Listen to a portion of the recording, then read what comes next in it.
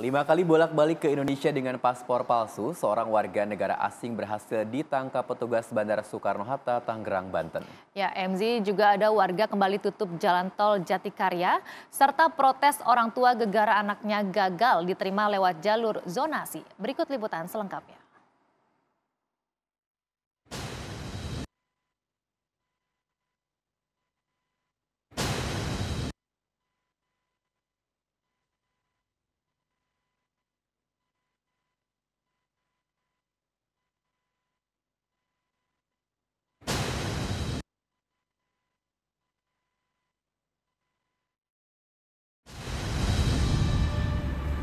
Ratusan warga Kelurahan Jatikarya Kota Bekasi, Jawa Barat berdemo di Jalan Tol Cimanggis Cibitung Selasa sore.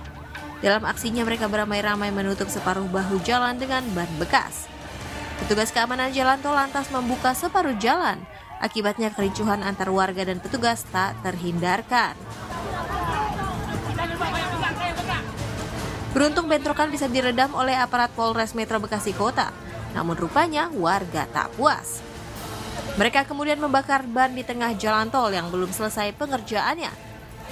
Gara-gara insiden ini, arus lalu lintas dari arah tol Jagorawi menuju jalan alternatif Cibubur maupun sebaliknya sempat mengalami kemacetan.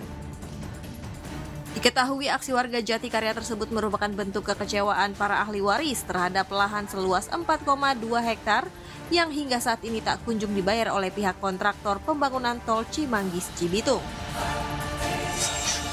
Kantor Imigrasi Kelas 1 khusus TPI Soekarno-Hatta meringkus seorang warga negara asing lantaran kedapatan memakai paspor palsu.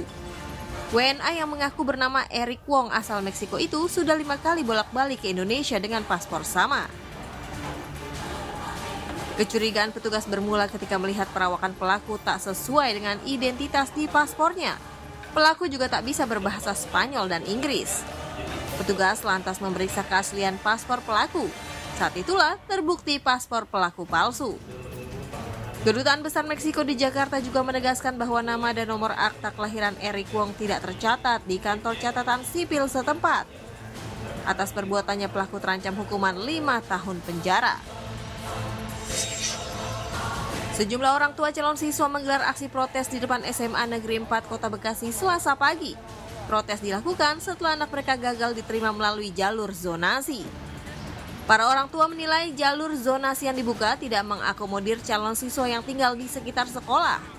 Pihak sekolah dituding menampung banyak siswa fiktif di luar batas radius maksimal zonasi. Minimnya sosialisasi ditambah keterbatasan kuota menjadi penyebab masalah ini kembali terulang. Perwakilan wali murid meminta pihak sekolah lebih mengutamakan calon siswa yang bermukim di dekat sekolah. Demikian laporan tim Liputan TV.